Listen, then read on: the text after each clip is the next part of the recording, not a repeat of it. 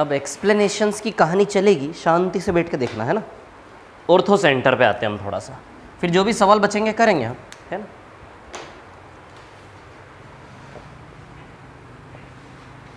Ortho centre मतलब होता है लंब केंद्र। ऑर्थो सेंटर मतलब होता है लंब केंद्र, है ना? ठीक है? अब लंब केंद्र किससे बनता है? एल्टीट्यूड से। एल्टीट्यूड यानी कि लंब। कई लोग लंबिका भी बोलते हैं इसको।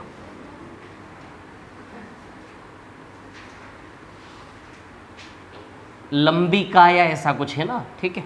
एल्टीट्यूड लंब। एक बार और गूगल पे सर्च कर लेना, इसका एग्जैक्ट वर्ड आपको मिल जाएगा। लेकिन नॉर्मली जैसे हम परपेंडिकुलर को लंब बोलते हैं ना, ये भी एक प्रकार से एल्टीट्यूड मतलब लंबिका या लंब ऐसा ही कुछ है। देखेंगे हमें ना? चलिए, मैं आपको बताता हूँ एल्टीट्यूड होता क्या है। जैसे ट्रायंगल है। ये रहा ट्रायंगल आपके सामने. ए बी और सी क्लियर लंब. लंब मतलब शीर्ष से सामने परपेंडिकुलर डालना है. वर्टेक्स से सामने वाली साइड पे?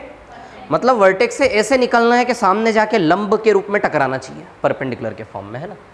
चलो, ये यहाँ से ये निकला और ये यहाँ से ये निकला. बस that's it this is the लंब केंद्र. क्या नाम दे दें इसको? वो दे देते हैं. क्या है ये आपका? लंब केंद्र. लंब केंद्र यानी कि ऑर्थोसेंटर, है ना? ये इंग्लिश में लिखा, ठीक है? अब, ये जो पॉइंट है, यहाँ पे जो एंगल बनता है ना, पता है एंगल क्या होता है? 180 माइनस सुनिए मेरी बात, कैसे? देखो, इस क्वाड्रिलेटरल में आना, इस चतुर्भुज में आना, दिखाई दिया कौन से चतुर्भुज की बात कर रहा हूँ? क्लियर इसमें आप देखो, चारों एंगल का सम 360 होता है क्या? किसी भी चार भुजा वाले स्ट्रक्चर में sum of four angles always equals to 360 तो 360 में से 90 90 180 तो ये दोनों ले गए। तो इसका और इसका मिला कि 180 बचा क्या? तो 180 में से ए गया तो 180 माइनस ए बचा क्या ये? तो ये कितना बचा? 180 माइनस ए ये 180 माइनस है तो ये भी क्या होगा 180 माइनस क्लियर तो एक चीज़ हमने क्या सीखी यहाँ पर? यहाँ पर हमने कुछ इस प्रकार से सीखा कि ऑर्थो सेंटर पर एंगल जो बनता है, वो कितना बनता है? ऊपर वाला जो भी है, उसके रिस्पेक्ट में ए है तो 180 एटी माइनस क्लियर इतनी सी बात, ठीक है? अब हमने चार चीज़ें पढ़ी, चार चीज़ें क्या क्या पढ़ ली? सबसे पहले हमने पढ़ा था सेंट्रोइड सेंट्रोइड सेंट्रोइड पढ़ा था। सेंट्रोइड सेंट्रोइड यानी कि क्या होता है? केंद्र। अब अब मैं जो कर रहा हूँ, वो ये कर रहा हूँ कि सबका एक साथ डिवीज़न हो रहा है हमारा और साथ ही साथ इक्विलेटरल पर भी आएँगे हम। इसमें इतना ही पढ़ने का है भी है ना? सेंट्रोइड यानी कि केंद्रक।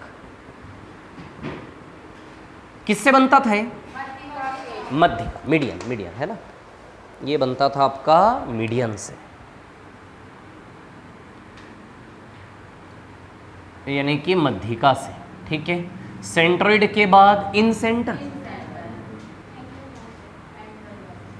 इन सेंटर यानी कि अंत केंद्र देखो, एक चीज़ ध्यान रखो, आपको याद होना चाहिए सब। तभी काम का नहीं तो कोई काम का नहीं। याद करने के पीछे पड़ो। है ना? दिमाग में रिवीजन करो बैठे बैठे कहीं बैठे हो। फ्री बैठे हो तो सोचो कि वो चार केंद्र कौन कौन से नाम लो, दोहराओ उनको मन में और किस किस से बनते, दोहराओ और पूरा पिक्चर इमेजिन करो। यही तरीका होता है ना? क्या होता है ना, हम इतने आलसी हो जाते हैं, हम दिमाग पर ज़ोर नहीं डालना चाहते फ्री बैठे तो क्यों टेंशन लें? लेना पड़ेगा आपको, है ना? अंतर केंद्र एंगल बाई से, है ना? एंगल बाई सेक्टर ठीक है? कोण द्विभाजक? किससे बनता है ये? कोण द्विभाजक से, है ना? इन सेंटर फिर सरकम सेंटर सरकम सेंटर यानी कि परिकेंद्र। किससे बनता है ये? लंब द्विभाजक यानी कि परपेंडिकुलर बाइसेक्टर।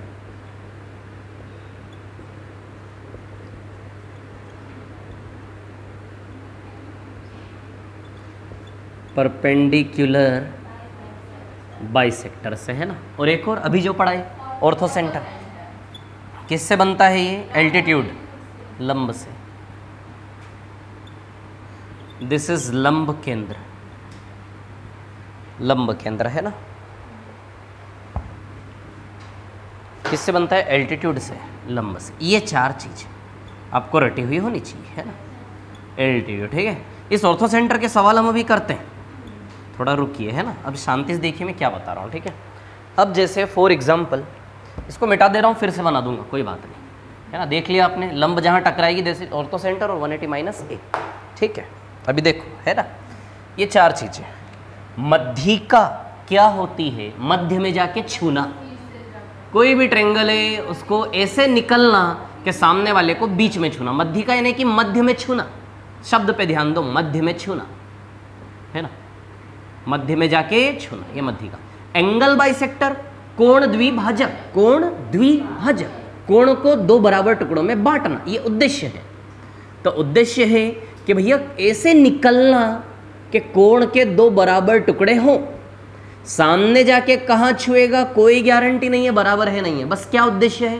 कोण के दो बराबर टुकड़े, ये यहाँ उद्देश्य है, ठीक है? परपेंडिकुलर बाइसेक्टर तो बाइसेक्टर यानी कि ये साइड के रिस्पेक्ट में काम करता है, भुजा पे, शीर्ष से कोई लेना देना नहीं है इसका, है ना? कैसे? जैसे एक साइड है तो किसी भुजा पर लंब भी और दो बराबर टुकड़े भी, लंब भी और द्विभाजक दो बराबर टुकड़े भी। दो बराबर टुकड़े तभी होंगे जब इसके मध्य से गुजरेगा। तो ये देखिए। ये लंब भी है और द्विभाजक भी है तो किसी भी ट्रेंगल में उसके सेंटर से परपेंडिकुलर डालना। जैसे इसका सेंटर मान लो ये है है ना? तो यहाँ से हमने डाला इस प्रकार से ऐसे और ये जो पॉइंट मिलता है, बाकी सारी कहानी पता है आपको। और लंब में क्या करना है आपको? लंब डालना है। परपेंडिकुलर डालना है सामने। क्लियर ये कहानी आपके ऑर्थो सेंटर की है, ठीक है? और ये एंगल कितना बनता है? वेरी गुड बहुत बढ़िया, ठीक है। ये एंगल ए है, ये एंगल ए है, ये एंगल ए है और ये एंगल ए है। ये कितना है? एक सौ अस्सी माइनस वेरी गुड एक सौ अस्सी माइनस ए एक सौ अस्सी माइनस ए अच्छा बताओ, ये जो बनेगा, इस प्रकार से है ना? इस प्रकार से। जैसे इसके यहाँ कौन बने टी माइनस इसके यहाँ कितना कौन बने? टू ए यदि ये ए है तो यहाँ क्या बनता है? ध्यान है ये चीज़? वेरी गुड ये one eighty minus A two A ठीक है? ये एक और हम डालते हैं ऐसे ठीक है? है ना? और एक और डालोगे आप ऐसे, ठीक है? बताओ, ये वाला एंगल क्या होता है? Ninety plus half of A ninety plus half of A मतलब इनके सेंटर पर एंगल क्या बनते हैं? ऊपर वाले के रिस्पेक्ट में ये चीज़ आपको एक साथ पता होनी चाहिए, है ना? Ninety plus A by two चलो, एक और मीडियन इधर से डाल दें। एक और मीडियन इधर से डाल दें। बताओ जरा ये एंगल नहीं बनता। कोई गारंटी नहीं है। सेंट्रोइड पर किसी भी पर्टिकुलर एंगल बनने की गारंटी नहीं है। लेकिन कुछ स्पेशल केसेस हमने देखे हैं सवालों में, जहाँ पे कुछ कुछ एंगल बन जाया करता है। वो स्पेशल केसेस क्या क्या थे याद है आप लोगों को? मतलब कोई ऐसा सवाल आपने सेंट्रोइड में देखा जिसमें यहाँ का एंगल आपसे पूछा गया हो? देखे थे आपने सवाल? कोई ऐसा सवाल आपने सेंट्रोइड में देखा जिसमें वहाँ हाँ वेरी गुड ठीक है? तो ये चीज़ें याद होनी चाहिए छोटी छोटी आप लोगों को। जैसे इन्होंने सवाल कैसे बनाया था? इन्होंने सवाल हमसे ऐसे पूछा था कि, शांति से देखना, क्या बता रहा हूँ, आराम का काम है ना? कोई भागा दौड़ी नहीं मचाना। देखिए, ये जो एंगल है ना, क्या होता है? ये वाली साइड ये वाली साइड और ये वाली साइड ये तीनों ये लोग हमें बराबर देते हैं। क्या देते हैं? बराबर। जब ये बराबर देते हैं तो ये वाला एंगल क्या बनता है? 90 डिग्री। समझ आ रही है बात? क्लियर है इतनी बात? ठीक है। और यदि एक और केस था इसमें, एक और इन्होंने हमारे साथ क्या खेला था गेम ठीक है? एक गेम यूँ खेला था, ठीक है, कि इन्होंने क्या दिया था? यहाँ का एंगल नहीं, यहाँ का एंगल मांगा था। कैसे? ये साइड ये साइड और ये साइड बराबर है तो फिर यहाँ पे क्या बनेगा?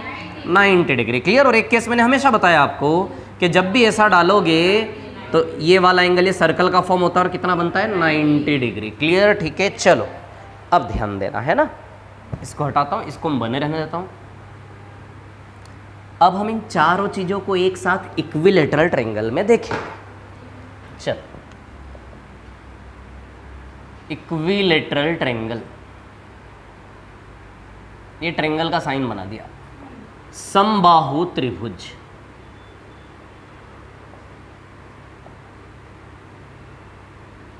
समबाहु त्रिभुज, है ना? ठीक है।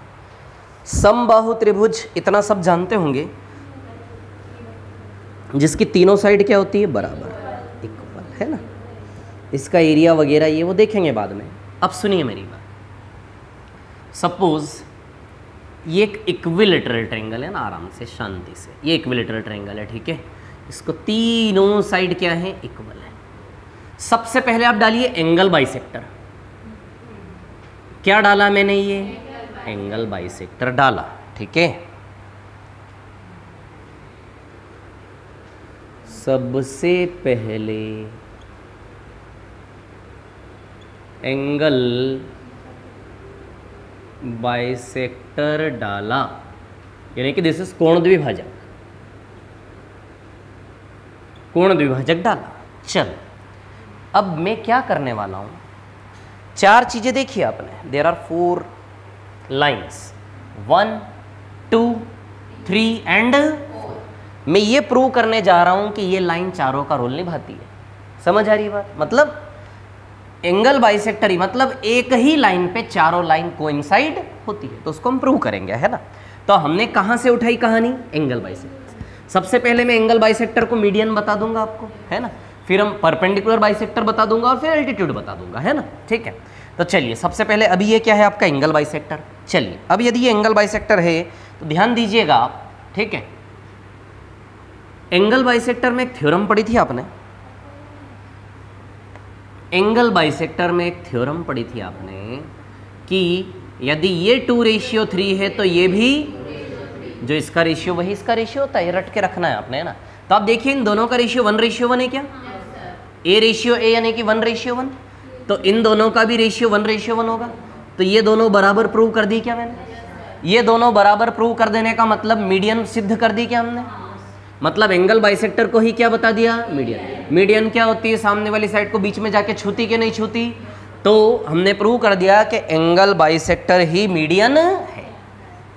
एंगल बाइसेक्टर ही मीडियन है। एंगल बाइसेक्टर ही मीडियन है, ठीक है? अब ध्यान दीजिए आप, एक चीज़ आप बहुत अच्छे से जानते हैं। कि इक्विलेटर ट्रेंगल में तीनों एंगल साठ साठ साठ के होते हैं। तो साठ साठ के दी है तो ये दोनों तीस तीस के हुए क्या? और ये भी दोनों साठ साठ के हुए क्या? साठ साठ।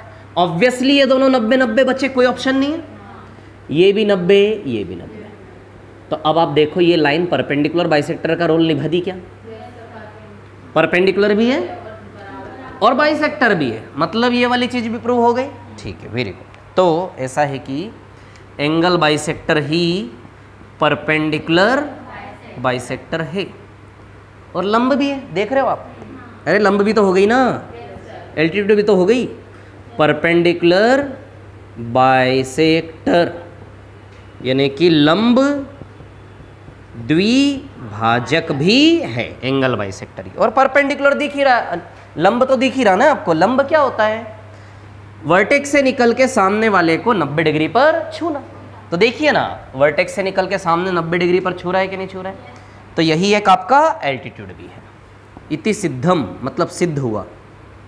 हेंस प्रूव्ड तो दिस इज़ एल्टीट्यूड ये ही आपका एल्टीट्यूड है। यानी कि लंब है। है ना? ठीक है। अब, ये तो एक तरफ़ डाला। हर तरफ़ चारों को होगा तीनों में। इधर भी बनाओगे, आधार बना के घुमा के तो तीनों भुजाएँ सेम है ना सेम पिक्चर बनेगा। मतलब सारी की सारी लाइन एक ही लाइन पर है। अब सारी की सारी लाइन यदि एक ही लाइन पर है तो आप इतना सोचिए कि डाल रहे हो एंगल बाइसेक्टर एंगल बाइसेक्टर सब बन रहा है, ठीक है? तो एंगल बाइसेक्टर क्या बनाता है आपका? इन सेंटर यही इन सेंटर है, यही सरकम सेंटर है, यही सेंट्रोइड है और यही ऑर्थो सेंटर है। वेरी गुड इतनी चीज़ क्लियर हो गई मतलब इसी पॉइंट पर चारों हैं। ठीक है है ना? एक मिनट। लिख देता हूँ इस लाइन को थोड़ा सा।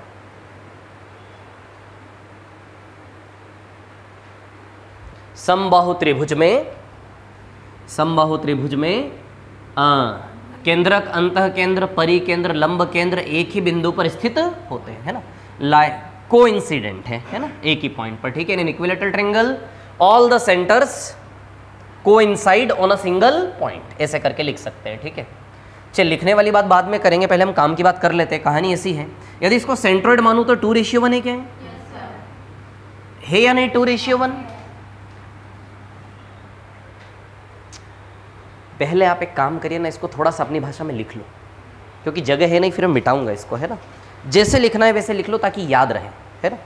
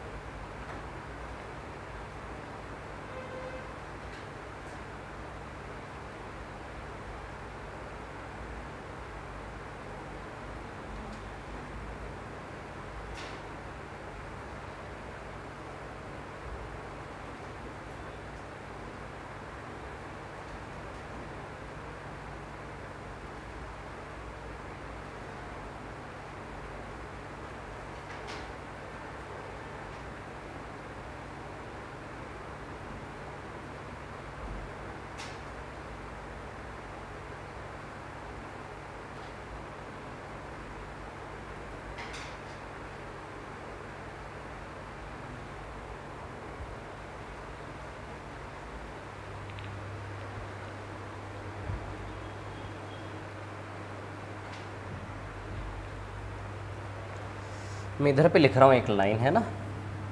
अतः जस्ट इसके बाद वाली लाइन जो आएगी। अतः केंद्रक केंद्रक, अंत केंद्र।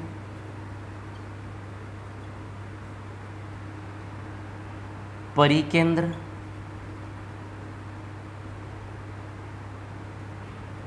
लंब केंद्र।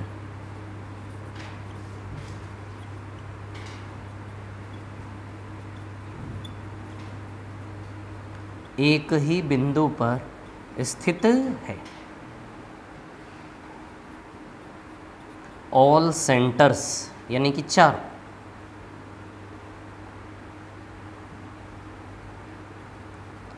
Lie on a same point ये लाइन लिख लेना लास्ट में इसके बाद आता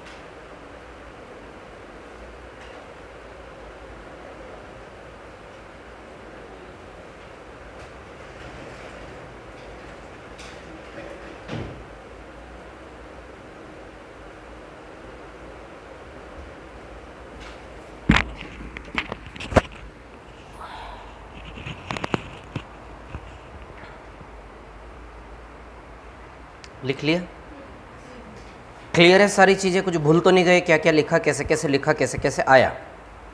ठीक है।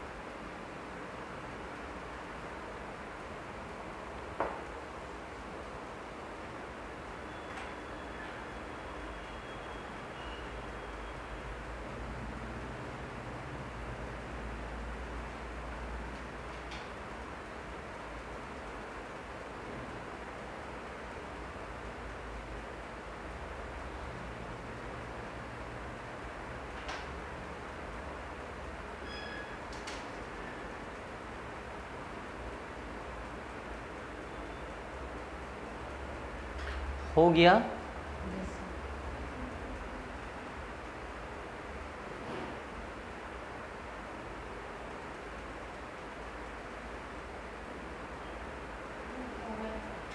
ठीक। चल, देखो। ना? तो हमने अभी तक ये प्रूव कर लिया कि समबाहु त्रिभुज में इक्विलेटर ट्रायंगल में एक ही पॉइंट पर चार होते हैं। है ना? चलो, अब एक ही पॉइंट पर चार होते हैं, इसका फ़ायदा उठाएँगे हम। और बड़े फ़ायदे हैं इसके। मतलब इक्विलेटर ट्रेंगल में बहुत सरल हो जाएँगी चीज़ें। इन रेडियस निकालना सरकम रेडियस निकालना बड़ा सरल हो जाएगा इक्विलेटर ट्रायंगल में, देखो।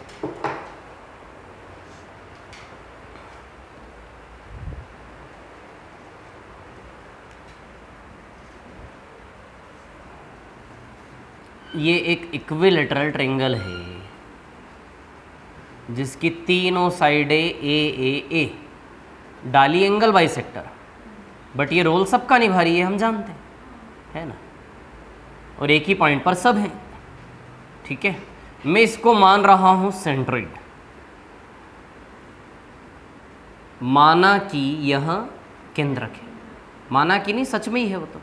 लेकिन हमने चारों में से, चारों सेंटर में से क्या चुना इसको अभी? केंद्र।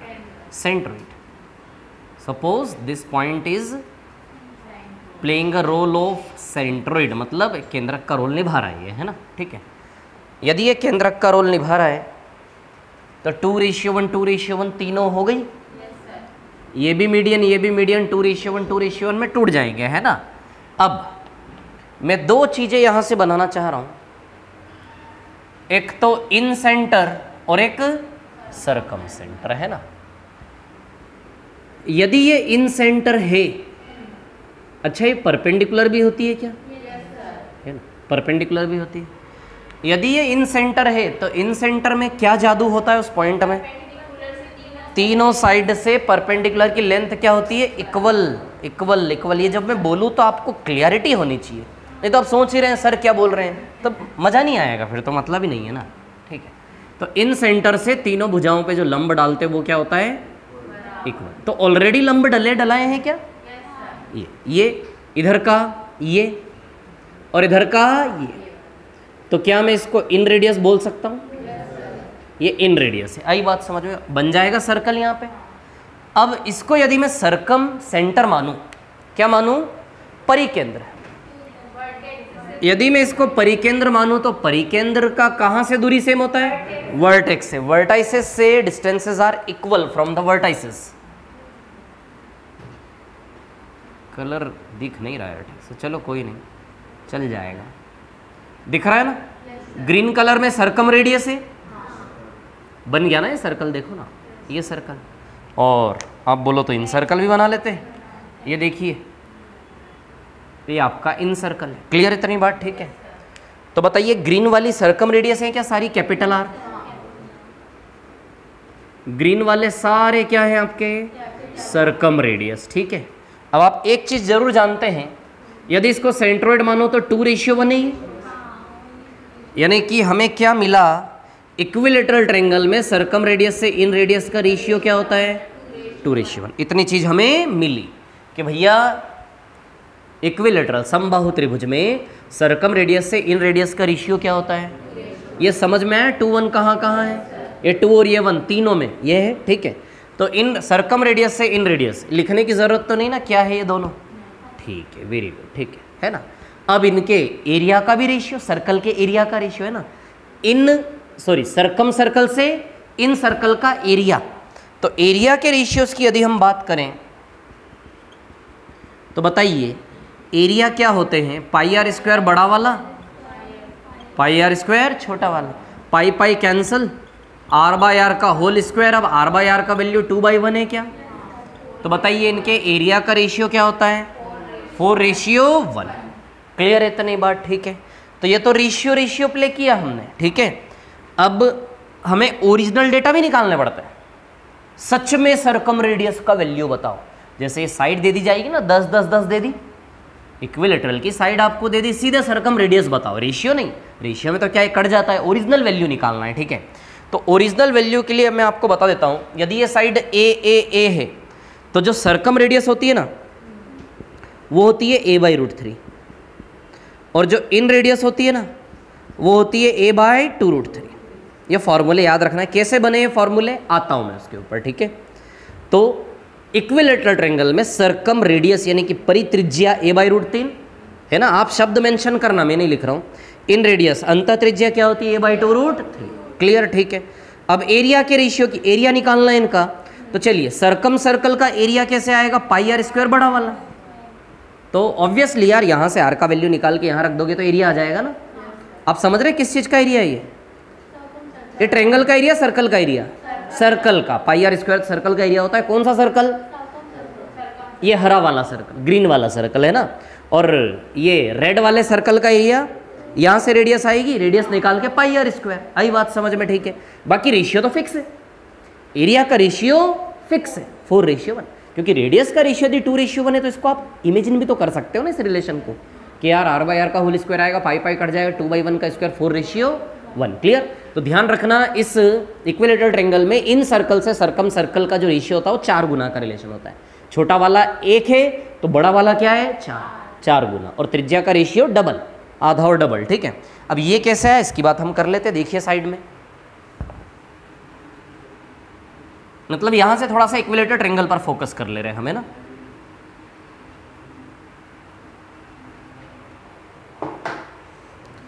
तो ऐसा है कि, ये देखिए, ये है एक इक्विलेटर ट्रेंगल ध्यान देना। अब मैं आपको ये समझा रहा हूँ, ये फॉर्मूले कैसे बने और इक्विलेटर ट्रेंगल के बारे में थोड़ा सा चर्चा भी कर रहे हैं ना?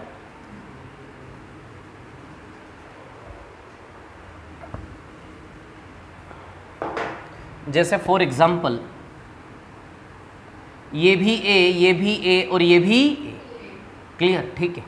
अब यहाँ से यदि हम देखें, है ना? ठीक है। तो ये लाइन डाली मैंने। ये लाइन चारों है? कुछ भी एक समझ के डालो। आप मीडियन समझ के डालो तो भी वो बाकी तीनों का रोल प्ले करेगी। मैंने एंगल बाई सेक्टर समझ के डाला तो परपेंडिकुलर भी हो जाएगी वो सामने। और मीडियन भी हो जाएगी। तो बताइए, ये भी ए बाई टू ये भी ए बाय टू आधा आधा बढ़ गया ना ये भी ए बाई टू और ये भी क्या है ए बाई टू अब हम लगाएँगे पाइथागोरस ठीक है? या तो पाइथागोरस लगा लो या फिर मैं आपको बताऊँ ट्रिग्नोमेट्री का यूज़ कर लो तो भी इसके रिस्पेक्ट में ये वाली साइड आ जाएगी। पाइथागोरस लगाओगे ना तो रूट थ्री बाई टू आ जाएगा ये। ए ए बाई टू हम क्या निकालना चाह रहे हैं ये? ये स्ट्रेंगल की हाइट का रोल निभाएगी। और पाइथागोरस से ये हाइट आ जाएगी यहाँ पे रूट थ्री बाय टू लगा लेते हैं पाइथागोरस पाइथागोरस क्या होता है? परपेंडिकुलर स्क्वायर बेस स्क्वायर बराबर हाइपोटेनियस स्क्वायर तो परपेंडिकुलर हमारा एच स्क्वायर है। प्लस ए बाई टू का स्क्वायर करोगे स्क्वायर बाई फोर आएगा, बराबर का ए स्क्वायर इसको उधर भेज देते हैं। एच स्क्वायर में से ए स्क्वायर में से स्क्वायर बाई फोर माइनस करोगे three by four A square आएगा क्या? माइनस करोगे उधर ले जाके। स्क्वायर हटेगा स्क्वायर रूट लगेगा। जैसे ही आप स्क्वायर रूट लगाओगे तो root three by two A आ जाएगा एच का वैल्यू yes, है ना? फोर फोर स्क्वायर रूट से बाहर निकलेगा टू आ जाएगा स्क्वायर बाहर निकलेगा ए थ्री तो बाहर निकल नहीं पाएगा रूट में आ जाएगा। तो हमेशा रट के रखना है याद होना चाहिए आपको कि इक्विलेटरल ट्रेंगल की हाइट हमेशा क्या होती है? Root three by two side A A A है तो हाइट हमेशा रूट थ्री बाय टू है क्लियर ठीक है? रूट थ्री बाय टू या फिर आप ट्रिग्नोमेट्री भी लगा सकते हैं इसमें। देखिए कैसे? क्योंकि आप एंगल जानते हो ना यार ये साठ डिग्री है। जानते हो ना साठ डिग्री इक्विलेटरल ट्रेंगल के हिसाब से ठीक है? तो अब देखिए ये ए है ये ए बाई टू है ये हमें नहीं पता। तो इससे इसके रिलेशन वाला कोई ट्रिग्नोमेट्रिक रेशियो ले लो आप। साइन थीटा साइन थीटा यहाँ से यहाँ का रिलेशन देता है। तो साइन साठ degree H upon A sine साठ degree H by A H by A तो ए इधर चला जाएगा। साइन साठ degree root three by two होता है तो एच का value root three by two A आ जाएगा क्या? तो इसे भी निकाल सकते हो है ना आप? ठीक है? ट्रिग्नोमेट्री का यूज़ करना ज़्यादा बेनिफिशियल होता है कई बार, ठीक है ना? तो रूट थ्री बाई टू ऐसे भी निकाल सकते हो, ऐसे भी निकाल सकते हो, ठीक है? अब हमारी जो पॉइंट वाली बात है वो ये है कि यदि हमने निकाल लिया कि root three by two A है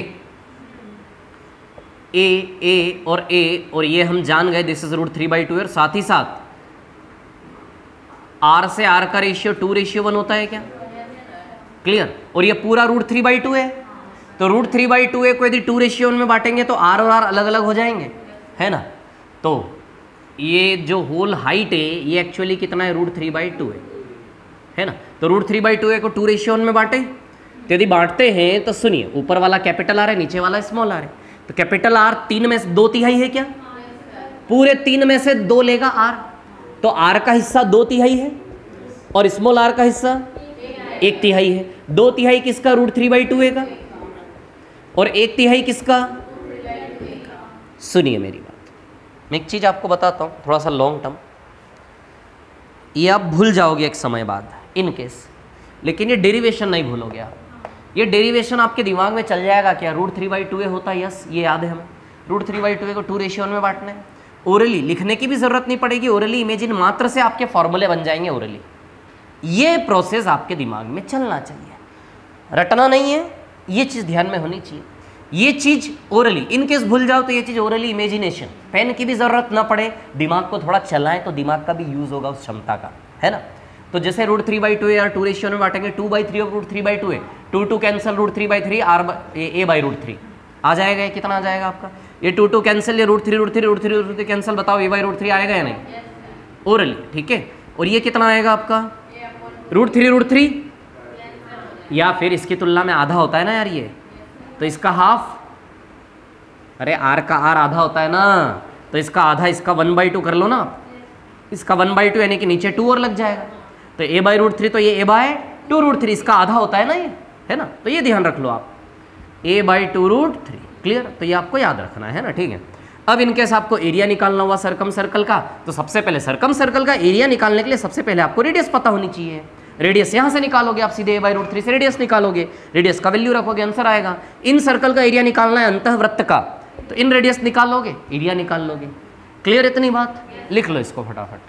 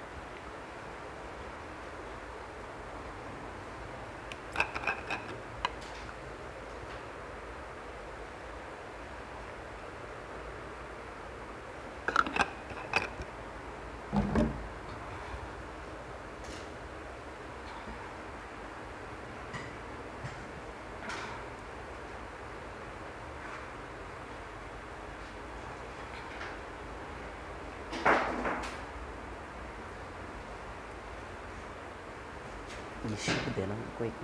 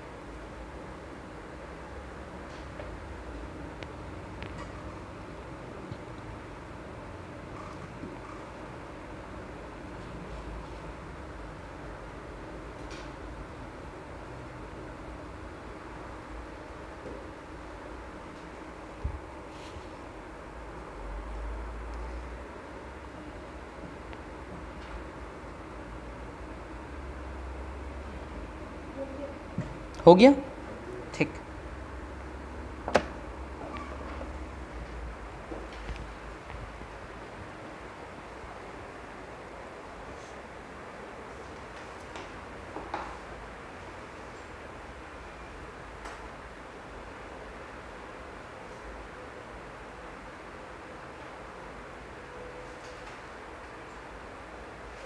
मिटाऊं ठीक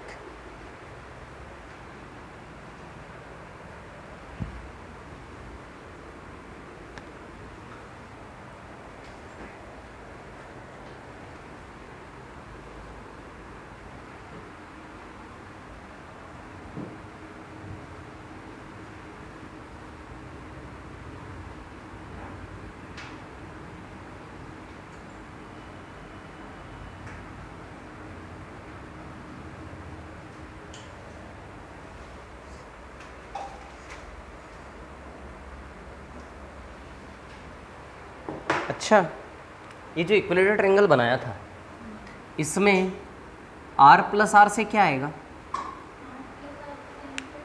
आर प्लस आर क्या बताएगा?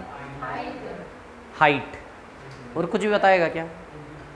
मीडियन की लेंथ और एंगल बाइसेक्टर की लेंथ चारों की लंबाई बता देगा ना? है ना?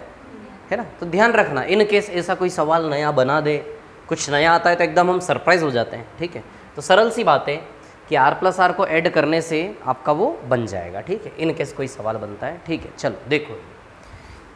अब इनकी थोड़ी सी मिक्स्ड प्रॉपर्टीज़ में लेता हूँ चारों सेंटर की। देखिए, बड़ा इंटरेस्टिंग वाला पार्ट है है ना?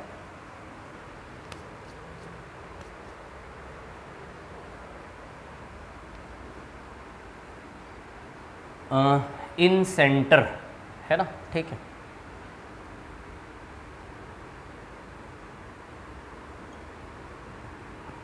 हिंदी नहीं लिख रहा हूँ, समझ जाओगे ना? ठीक है। इन सेंटर हो गया। सेंट्रोइड सरकम सेंटर और ऑर्थो सेंटर है ना?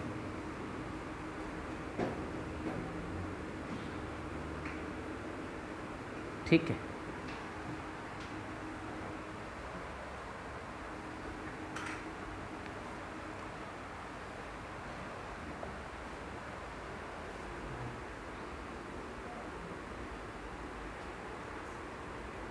Acute angle triangle right angle triangle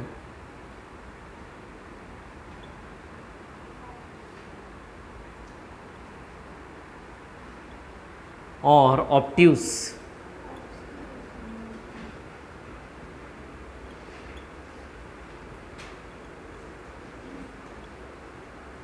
obtuse angle triangle है ना? हिंदी में क्या बोलते हैं इसको? न्यून कोण त्रिभुज? हाँ, ठीक है। ये एक ये दो और ये तीन।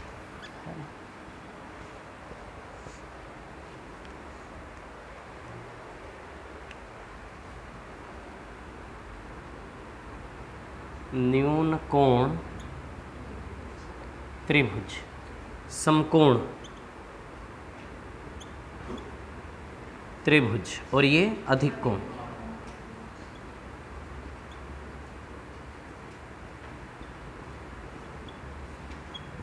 चलो भाई। इन सेंटर जो है ना, तीनों प्रकार के ट्रेंगल में अंदर ही बनेगा। Inside inside inside. बताता हूँ ये क्या लिख रहा हूँ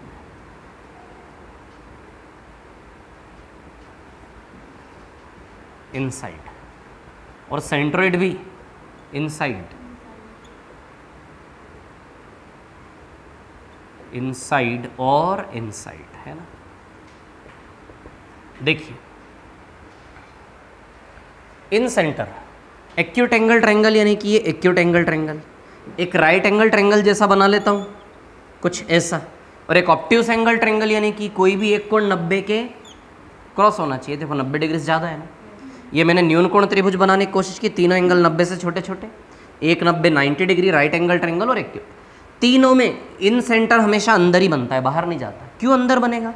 इन सेंटर हमेशा अंदर ही बनेगा, क्या गारंटी है? क्योंकि यार तीनों एंगल बाई सेक्टर अंदर ही टकराएँगे ना। कैसा भी ट्रेंगल हो, तीनों एंगल बाई सेक्टर कहाँ टकराएँगे? अंदर।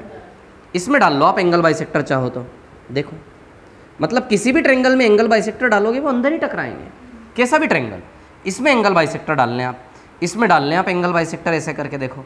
और यहाँ से डाल लें आप एंगल बाइसेक्टर ऐसे करके। कहाँ टकराएँगे? रटना नहीं। जैसे मैं कर रहा हूँ वैसा बना के देखना है। क्लियर या तो इमेजिन करो इसको या फिर बनाओ। दिमाग में बनाओ कॉपी पेन पे बनाओ, ऐसे करना है, ठीक है? बाकी रट भी वो अपने आप रटना अपने आप होना चाहिए। आपका दिमाग चलना चाहिए प्रोसेस पर। रटन विद्या अपने आप आती है। वो नेचुरल एस्पेक्ट है हमारे माइंड का, ठीक है ना? तो वो अपने आप आना चाहिए, है ना? तो ये कहाँ बनेगा हमेशा? इनसाइड अंदर, ठीक है? क्लियर अब सेंट्रोइड भी अंदर ही बनेगा, सोचो ना मध्यिका कहाँ टकराएँगी तीनों? कैसा भी ट्रेंगल हो, सोचो जरा मध्यिका अंदर ही टकराएँगी ना तीनों? मीडियन ये मीडियन डाली। मीडियन सामने वाली साइड को बराबर अंदर ही टकराएँगी। मीडियन डाल लो, ये देखो, ये मीडियन मीडियन मीडियन तो सब कहाँ टकराएँगे? अंदर ही टकराएँगे। पॉसिबल ही नहीं है कि वो बाहर टकराएँ क्लियर लेकिन इन दोनों में कहानी बदलेगी, ठीक है? तो अब मैं आता हूँ सरकम सेंटर और ऑर्थो सेंटर पर, ठीक है? सवाल आते हैं, इसके ऊपर ध्यान रखना है ना।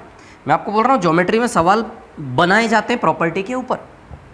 प्रॉपर्टी पे अच्छे से कमांड कर ली कॉन्सेप्ट्स पर तो इजी हो जाएँगी चीज़ें। देखो, अब क्या है कहानी? जैसे फॉर एग्ज़ाम्पल चलो, बना देता हूँ मैं। ये देखिए।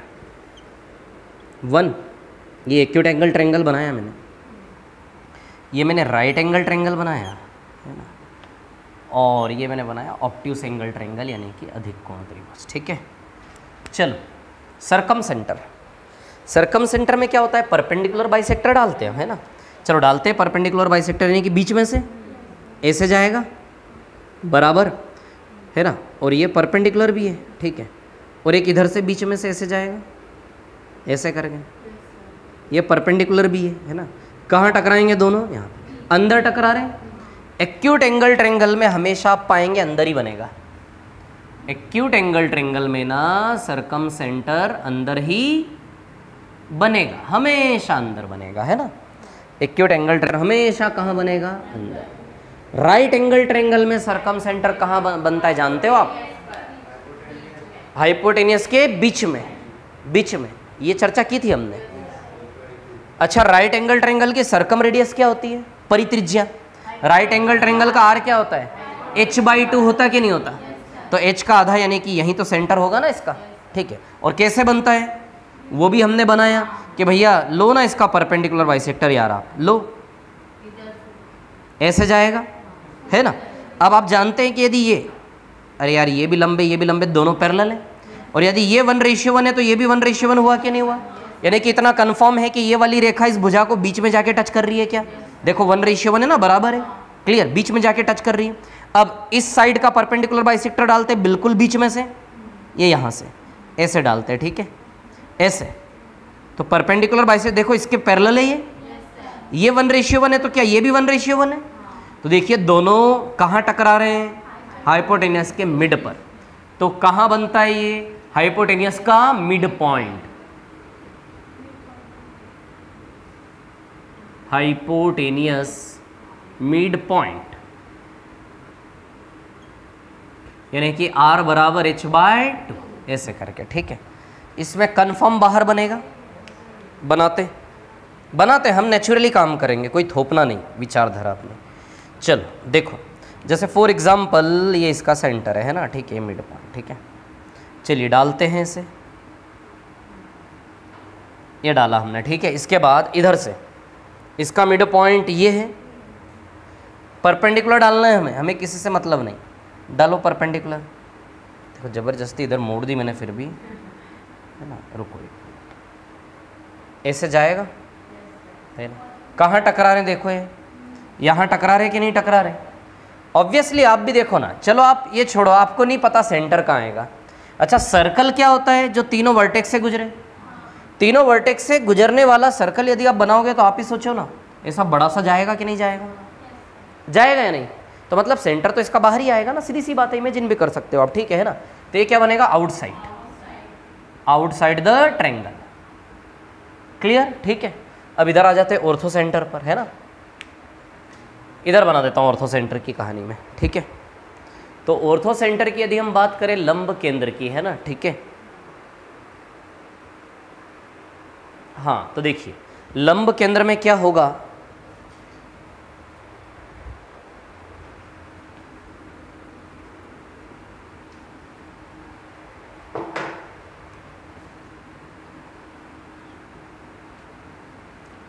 चलो एक्यूट एंगल ट्रेंगल ये रहा एक्यूट एक्यूट में तो अंदर ही बनेगा। सोचो ना एक्यूट में तो अंदर ही बनेगा, ठीक है? इन साइड है ना? राइट एंगल ट्रेंगल यहाँ बनेगा, यहाँ। है ना? राइट एंगल्ड वर्टेक्स समकोणीय शीर्ष पर। कैसे? चलो, छोड़ो। हमें नहीं पता कुछ भी। हमें नहीं पता। क्या है बेसिक फंडा? लंब डालनी पड़ती है। वर्टेक्स से अपोजिट साइड पर लंब। यहाँ से इस साइड पे लंब डालोगे आप तो इसी पे कोइंसाइड करते हुए जाएगा ऐसे लंब। चलो सुनो मेरी बात। आप यहाँ से इस साइड पर परपेंडिकुलर डालो, क्या ऐसे डालोगे टेढ़ा? इस साइड पे परपेंडिकुलर तो बिल्कुल ऐसा होता है ना, perfect 90 degree right it should be right है ना? तो यहाँ से इस लाइन पर डालोगे तो बताइए, इसी पर ओवरलैप होते हुए जाएगी क्या? ऑलरेडी इस लाइन पर इस वर्टेक्स से लंब डली हुई है ना? So this is the perpendicular altitude clear अब यहाँ से इस रेखा पर भी डली हुई है क्या? आप ही देखिए, देखो दोनों यहाँ टकरा रहे कि नहीं टकरा रहे तो कहाँ बनता है? अपने आप। और फिर यहाँ से आप डालो ना। यहाँ से यहाँ लंब डालो इस पे।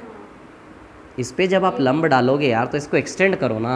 ये भी तो यहीं टकरा रही है ना तीनों। तीनों लंब यहीं टकरा रही है। तो कहाँ बनता है? राइट एंगल्ड वर्टेक्स ये इंपॉर्टेंट है। यानी कि समकोणीय शीर्ष।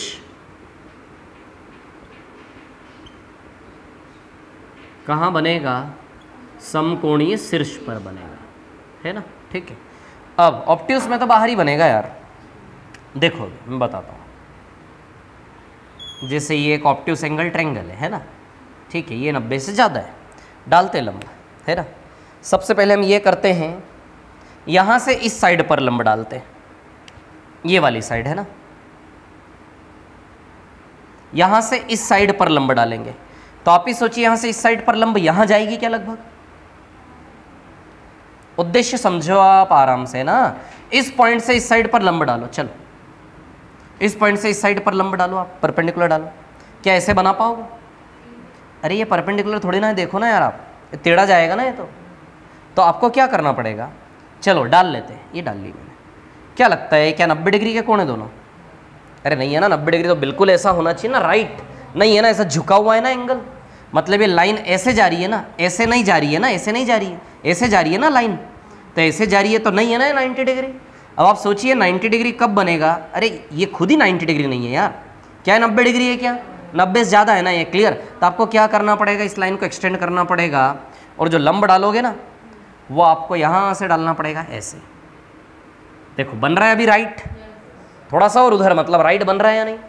तो यहाँ पे जो लंब डालोगे ना ऑप्टिव एंगल ट्रेंगल में, वो ट्रेंगल के बाहर जाएगी लंब, है ना? अब यहाँ से डालो लंब, यहाँ से भी लंब डालोगे तो मैं बताऊँ आपको, ठीक है? इस साइड को एक्सटेंड करिए आप, ऐसे करके। यहाँ से जब आप लंब डालोगे तो ये भी कैसे जाएगी पता है? ऐसे करके। देखो, जा रही है लंब। इस साइड पर यहाँ से लंब डालना है। बार बार रिपीट करते जाऊँगा, नहीं आएगा, समझ में आप टेंशन मत लो। इस साइड पे यहाँ से हमें परपेंडिकुलर डालना है। तो इस साइड पे जब आप यहाँ से परपेंडिकुलर डालोगे, सीधी सी बात है, यहाँ तो नहीं जाएगी ना। इसको एक्सटेंड कर, क्योंकि यहाँ से डालने पर, इस पर, यहाँ से इस पर लंब जाना चाहिए। तो इसको बढ़ा के ऐसे ही जाएगा लंब क्लियर है? अब ये दोनों लंब देखो, कहाँ टकरा रहे बाहर टकरा रहे कहाँ बनेगा? आउटसाइड ठीक है? अब आप इसका लंब डाल लो यहाँ से। यहाँ से यदि इस साइड पर लंब डालते हो तो बेसिकली ऐसा जाएगा। क्लियर लेकिन इसको एक्सटेंड करो आप आगे से पीछे तक।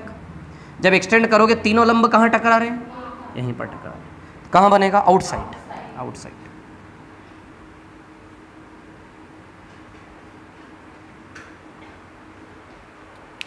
ले लो इस टेबल को फटाफट। इंपॉर्टेंट है ना? इसके ऊपर सवाल बन सकते हैं। अब सवाल पर आ जाना। ऑर्थो सेंटर के।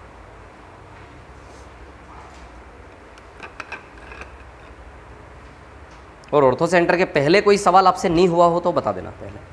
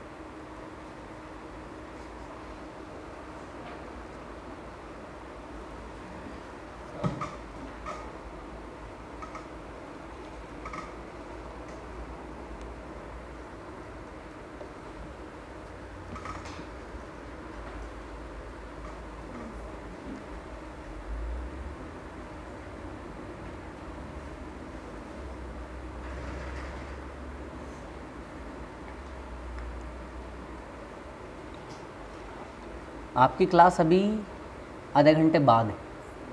हाँ। हाँ बैठ सकते हो, बैठना, पीछे बैठ जाओ आराम से, जैसा आपको ठीक लगे, है ना?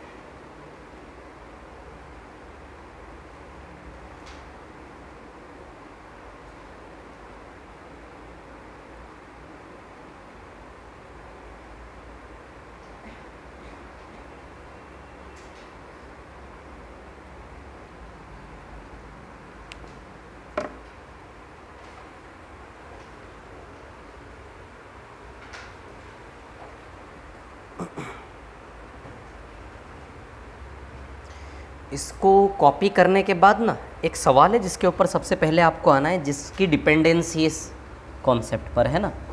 ऑर्थो सेंटर में सवाल नंबर ना तीन। इसको कॉपी करने के बाद ऑर्थो सेंटर में सवाल नंबर तीन पर आना है ना। करो ज़रा उसको। कॉपी कर ले पहले आप इसको।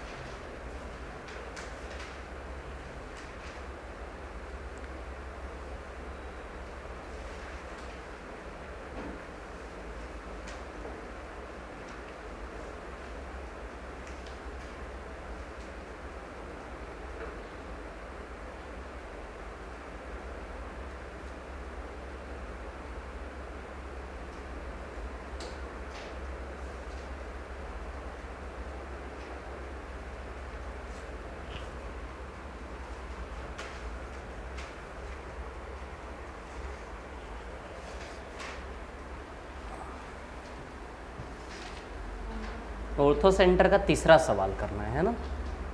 जो सीखा ना पूरा का पूरा इसी पे बेस्ड है।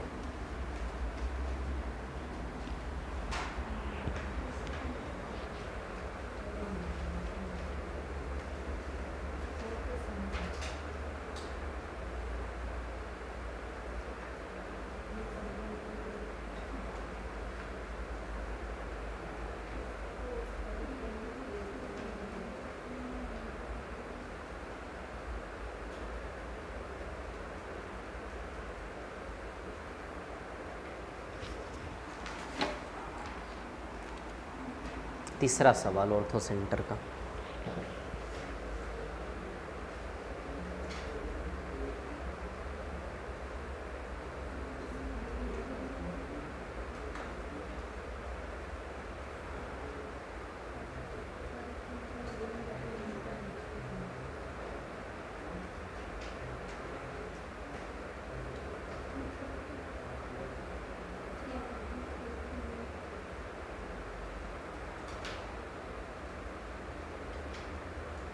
थोड़ा जल्दी है ना ऑर्थो सेंटर के सारे सवाल ख़त्म करने हमें फटाफट। एक्टिवली काम करो थोड़ा सा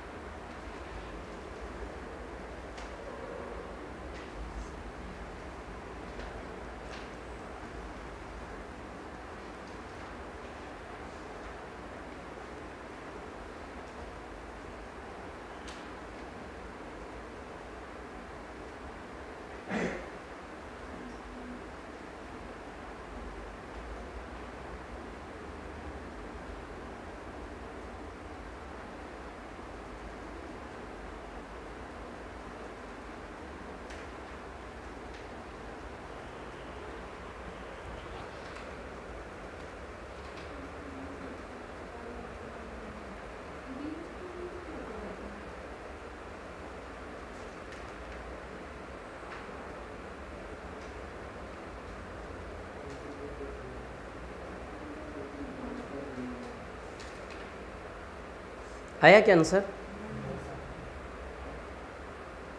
बहुत अच्छा क्वेश्चन है, कुछ नहीं है उसमें, बस आपकी नज़र वैसी हो तो दिख जाएगा आपको आंसर कोई कैलकुलेशन थोड़ी ना उसमें। अच्छा राइट एंगल ट्रेंगल दिया है क्या? राइट एंगल ट्रेंगल में ऑर्थो सेंटर कहाँ बनता है? यहाँ वर्टेक्स और राइट एंगल ट्रेंगल में सरकम सेंटर कहाँ बनता है? मिड पे। बनता है हाइपोटेनस के मिड पे, दो चीज़ें पता है? फिर तकलीफ़ क्या है? सरकम रेडियस ही तो आंसर हुआ ना उसका।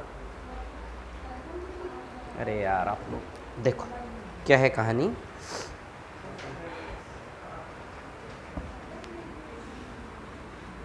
तीसरा सवाल है ना ऑर्थो सेंटर का ठीक है?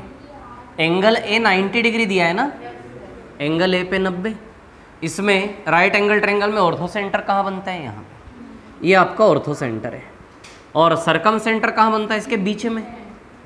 बनता है ना यहाँ पे सरकम सेंटर को हम नाम दे देते हैं ओ ओ नहीं। सी नाम दे देते हैं, चलो, ठीक है। अभी आप देखो। ये सरकम रेडियस है, ये भी सरकम रेडियस है, और ये भी? अरे, जब सर्कल बनाओगे तो यार ये ये तीनों रेडियस होती कि नहीं होती? सेंटर से किधर भी डालो, सब रेडियस होता है। तो यहाँ रेडियस यहाँ रेडियस तो ये भी रेडियस है या नहीं? यही दूरी मांगी ना आपसे? सरकम सेंटर से ऑर्थो सेंटर के बीच की दूरी मांगी है ना? मांगी या नहीं मांगी? और ये दस दिया है पूरा? अच्छा छः और आठ दिया है? छः आठ दिया है ना? ये दस आप निकाल लो पाइथागोरस से। तीन, चार, पाँच वाला ट्रिपलेट है, डबल किया हुआ है। तो ट्रिपलेट से पाइथागोरस से दस आ जाएगा तो पाँच पाँच तो ये भी क्या आ जाएगा? पाँच। तो आंसर क्या आ जाएगा आपका? पाँच। ये ऑर्थो सेंटर और सरकम सेंटर के बीच की दूरी कितनी है? पाँच। है क्लियर है क्या? ठीक है। चलो ऑर्थो सेंटर का पहला सवाल, फटाफट कर दो जल्दी से अभी आप। पहले का? हाँ ठीक है, करते जाओ जिस, जिससे हो रहा है। नहीं हो रहा है तो बताऊँगा फिर मैं, है ना? सारे सवाल, थोड़ा स्पीड से चलाएँ गाड़ी, है ना?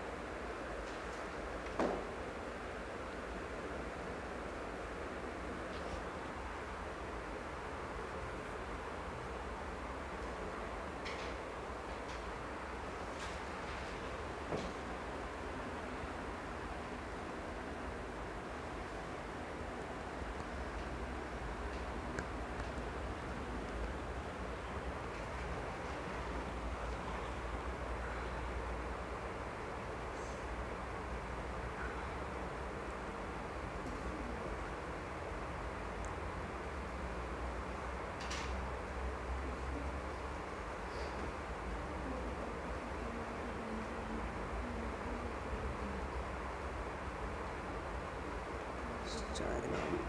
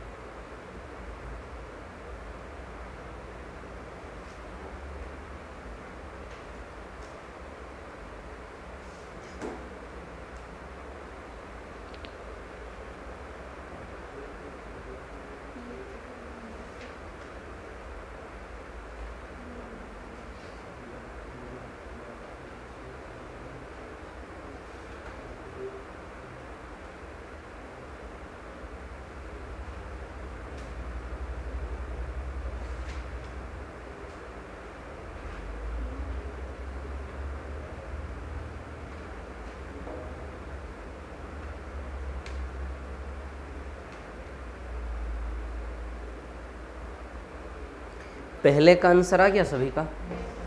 क्या है? कौन सी प्रॉपर्टी पर था?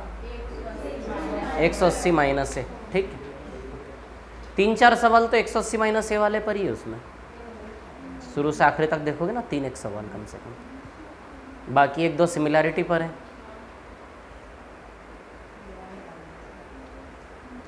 दूसरे का क्या आंसर है? पैंतीस डिग्री।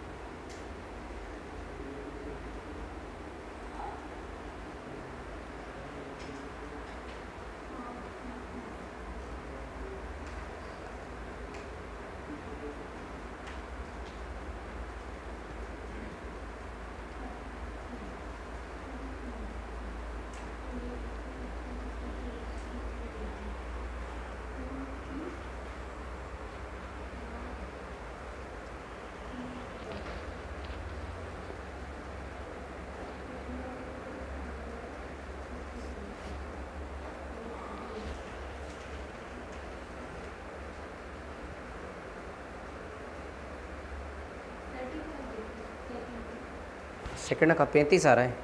अच्छा। किस किस का? आ गया सेकंड का? पैंतीस। ओके।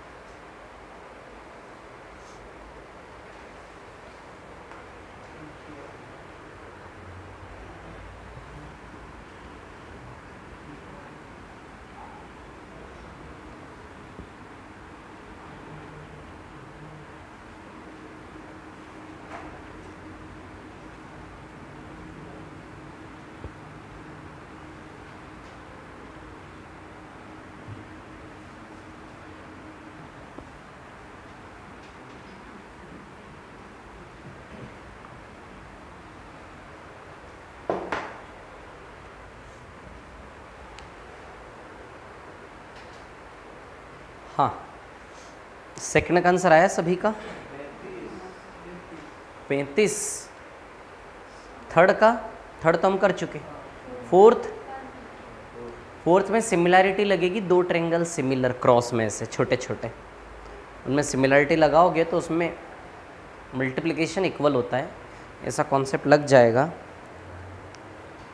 लव एक शीट दो ना मेरे को। दो है किसी के पास? दो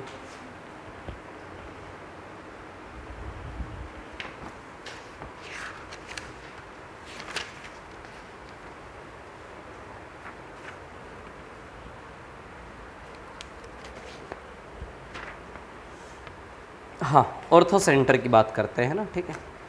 आ, सवाल नंबर दो का आंसर नहीं आया आप लोगों का। चलो सवाल नंबर दो बाद में करते हैं कोई बात नहीं। पहले का तो आ गया ना सभी का? बता देता हूँ पहला एक बार क्या है triangle A B C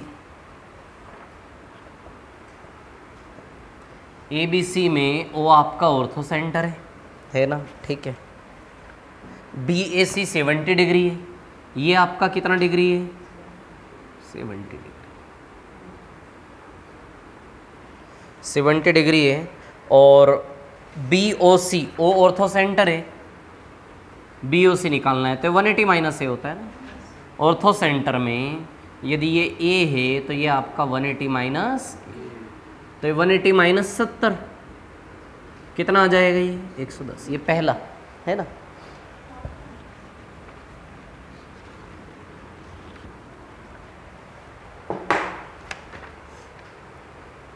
हाँ इसके बाद चौथा सवाल। देखिए, फोर्थ क्वेश्चन देखिए ज़रा, in triangle P Q R main exam में आया हुआ सवाल है। पी क्यू आर ठीक है? पी क्यू आर में जो है पी एक्स क्यू वाई और आर जेड एल्टीट्यूड है। पी एक्स क्यू वाई और आर जेड ये एल्टीट्यूड है है ना? लंबे, ठीक है? उसके बाद पी ओ सिक्स है। ये ओ है। ये कितना है? सिक्स है ना? और पी से एक्स आठ है। यदि ये पूरा आठ है तो आठ में से छः गया तो ये कितना बचा? आठ है ना? आठ में से छः गया तो ये बचा दो, है ना? ठीक है। इसके बाद क्यू ओ चार है। तो आपको क्या निकालना ये? है ना? तो अब देखिए, क्या है कहानी? तीन आएगा शायद। अच्छा क्यू आई निकालना है। तो क्यू वाई सात आएगा आपका, है ना? आया किसी का? किसी का भी नहीं है। देखो इधर पे। ध्यान देना मैं क्या बता रहा हूँ, है ना? आपको क्यू वाई निकालना ही है वाली लेंथ आप इन दो ट्रेंगल में आ जाइए। एक तो ये छोटा वाला और एक ये छोटा वाला। दिख रहा है क्या? क्या है दोनों ट्रेंगल सिमिलर है? यस एक तो ये एंगल बराबर है दोनों का और एक नब्बे डिग्री वाला बराबर है। तो तीसरा अपने आप बराबर हुआ ना? क्लियर है इतना? तीनों एंगल सेम है। ठीक है तो सिमिलैरिटी मैं आपको एक चीज़ बता देता हूँ। सुनिए मेरी बात। जब भी ऐसा क्रॉस होगा ना क्रॉस जब भी होगा ऐसा। ये एंगल इसके बराबर, ये एंगल इसके बराबर और ये वाला एंगल इसके बराबर। ऐसा this is very common pattern circle में भी आएगा, हर जगह आपको दिखेगा, है ना, ठीक है? ऐसा नहीं है कि ये एंगल इसके बराबर नहीं। समझ आ रहा है आपको बात मैं क्या बोल रहा हूँ? ऊपर ऊपर वाले एंगल बराबर होने चाहिए, नीचे। ऐसा नहीं कि ये इसके बराबर हो, वो नहीं चलेगा। ये एंगल बराबर, ये एंगल बराबर, ये एंगल बराबर, इसमें क्या होता है? इससे इसका मल्टीप्लीकेशन ऑलवेज इक्वल्स टू इससे इसका मल्टीप्लीकेशन तब आप देखिए इस डिज़ाइन को मैं बाहर निकाल ले रहा हूँ.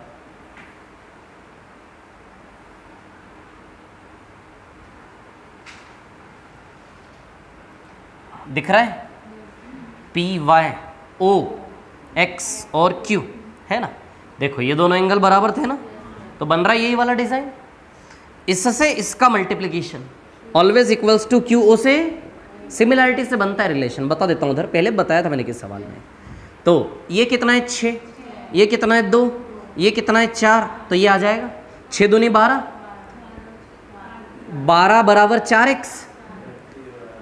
छः इंटू दो बराबर चार इंटू एक्स। तो एक्स बराबर तीन आ जाएगा क्या से? तो तीन तो चार और तीन क्यू वाई सात आ जाएगा। क्यू वाई निकालना है ना? तो चार प्लस तीन। कितना आएगा क्यू वाई आपका सात? तो ऐसी कॉमन चीज़ें रट के रखो। ऐसे ही सवाल देखते सी जाएँगे सीधे, है ना? तो फोर प्लस थ्री कितना है? सेवन अब ये कैसे बना? मैं आपको बता देता हूँ। लगा लेते हैं सिमिलैरिटी सिमिलैरिटी की बात करें तो चलिए, ये वाला एंगल लें। ये दो डंडे वाला एंगल बोले इसको। इसके सामने कौन है? ओ एक्स ओ एक्स है ना? साइड लिख रहा हूँ। और इस वाले ट्रेंगल में इसके सामने कौन है? ओ वाई बराबर। अब एक 90 डिग्री वाला ले लो आप। 90 डिग्री इधर किसको बनाए? क्यू ओ और इधर किसको बनाए? 90 डिग्री ने पी ओ क्लियर अब आप ये करें, इसको इधर भेज दे तो P O into O X O X से ये है ना, ये इंटू का साइन है। ये ओ एक्स ठीक है? और क्यू ओ इंटू ओ तो क्या पिक्चर बन रहा है ये? P O into O X always equals to Q O into Y यही पिक्चर सर्कल में बनेगा हमेशा। सर्कल में जब भी दो क्रॉस होंगे this two cross are always similar क्योंकि सर्कल में ये दोनों एंगल अपने आप बराबर होते हैं। एक ही कोड से बनते हैं ना। एक ही कोड से ये एंगल ये एंगल हमेशा बराबर ऑलवेज और इस कोड से दोनों एंगल बराबर, और ये बराबर। तो सर्कल में हमेशा इससे इसका मल्टीप्लीकेशन ऑलवेज इक्वल्स टू इससे इसका। क्लियर ये रटने वाली चीज़ होती है, कुछ जो सिमिलरिटी से बनती है, ठीक है? तो इसी पर बेस्ड एक और सवाल आपका इसमें। ये आठवें नंबर का भी सेम है, इसी प्रकार का है। इसके बाद आठवां कर दो सीधे आप तो पहले। एट्थ क्वेश्चन है ना? इसको कॉपी कर लो। जितनी भी प्रॉपर्टीज़ ज्योमेट्री में अभी तक पढ़ी है, खाली पन्ना लेकर बैठो घर में और पेन ले लो हाथ में, बस। जो जो प्रॉपर्टी पड़ी बिना देखे लिखना चालू। रट डालो। जितना ज़्यादा रटोगे ना इन चीज़ों को, सवाल उतना जल्दी पहचान में आके ख़त्म होता जाएगा। इतनी छोटी सी बात। लेकिन एक बार साहस जुटाना पड़ेगा ना थोड़ा सा आपको, अपने आलस्य को, अपने रेसिस्टेंस को हटाते हुए।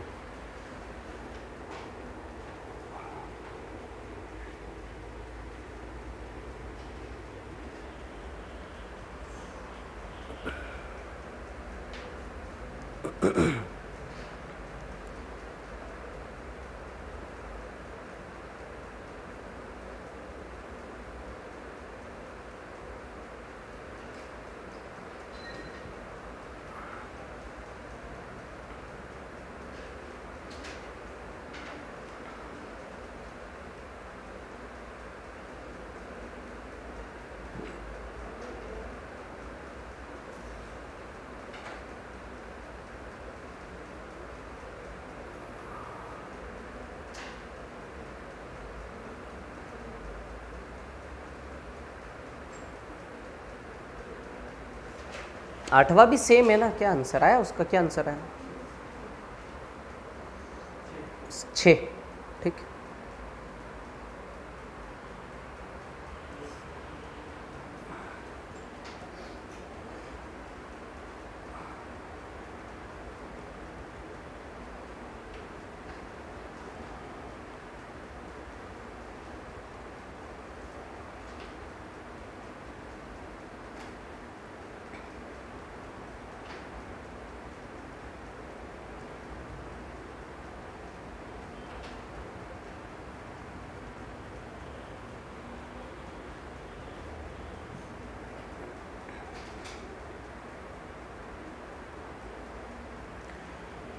हाँ हो गया क्या?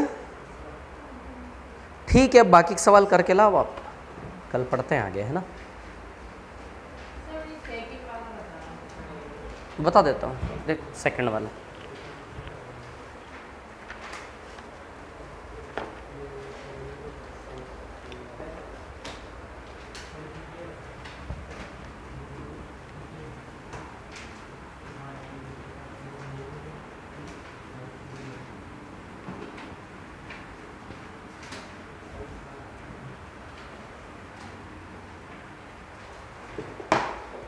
हाँ क्वेश्चन नंबर टू सवाल नंबर दो. O and C are orthocentre and circumcentre of triangle P Q R ठीक है. Point S is situated on Q R triangle P Q R पहले तो बना लेते हैं हम. पी क्यू आर है ना? ठीक है. S is situated on Q R Q R पर स्थित है कहीं एस कहाँ है? हमें पता नहीं. आगे पढ़ेंगे तो इधर उधर कर लेंगे, जो भी होगा. ठीक है। Line P S passes through point O P S passes through point और ओ को क्या बोला इन्होंने? ऑर्थो सेंटर बोला है? हाँ ये ऑर्थो सेंटर है आपका, है ना? लंब केंद्र मतलब कि, है ना? ऐसा कुछ, ठीक है? उसके बाद पी क्यू एस साठ है। ये सिक्सटी डिग्री है। है ना? ठीक है। पी क्यू एस साठ है। और क्यू सी आर एक सौ तीस है। क्यू सी आर कहाँ है सी सी क्या है? सरकम सेंटर अच्छा। क्यू सी आर कितना बोला है? 130 है ना? तो चलो सी बना लेते हैं, कहीं भी इधर बना लेते हैं। क्यू सी आर कितना है ये? 130 डिग्री।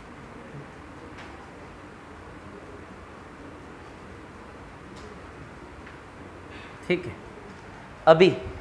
क्या निकालना आपको? R P S R P S यानी कि आपको निकालना ये वाला एंगल ना?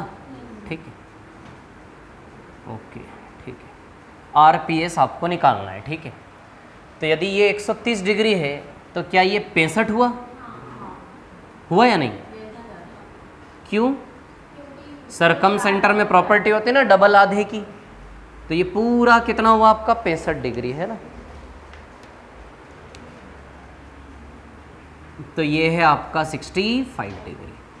पैंसठ में से, ठीक है, अब उसके बाद। ये 60 है तो ये 90 है क्या? क्यों? और ऑर्थो सेंटर लंबे ना ये। 60 90 तो ये 30 बचा क्या? बचा है नहीं 30 तो पैंसठ में से 30 गया है तो ये 35 बचा ना जो निकालना है? तो आंसर 35 आ गया आपका, है ना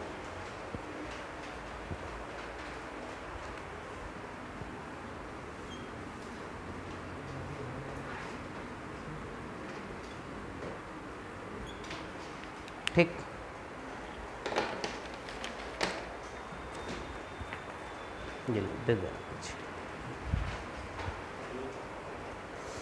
खाली पेज लीजिए और